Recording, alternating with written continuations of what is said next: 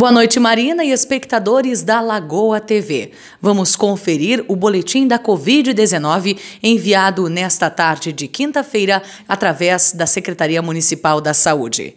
Testes realizados desde o início da pandemia, 3.481. Destes, 657 positivos e curados, 577.